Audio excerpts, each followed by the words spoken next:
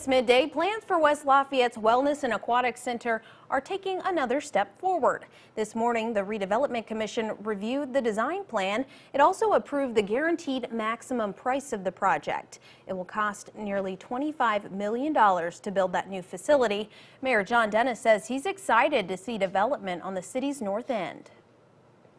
There is quite a bit of opportunity there for improvement, for providing a rec center, uh, for connecting the rec center to our trail system, and then having some of the special amenities inside that are really going to make it something worth our investment. Some of those amenities include gymnasiums, indoor playgrounds, and an indoor track, as well as a pool. Two years